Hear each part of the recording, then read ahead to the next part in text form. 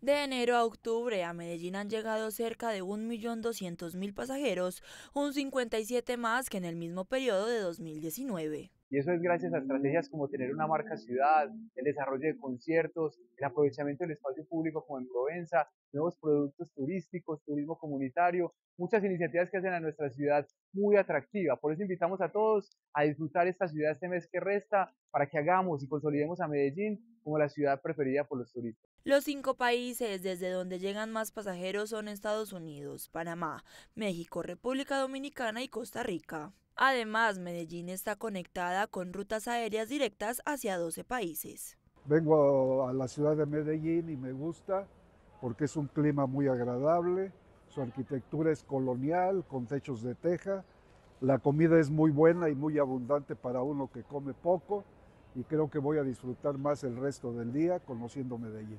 Se espera que en la temporada de Sembrina lleguen a la ciudad más de 200.000 pasajeros, quienes disfrutarán de los alumbrados navideños y de toda la oferta permanente que tiene Medellín.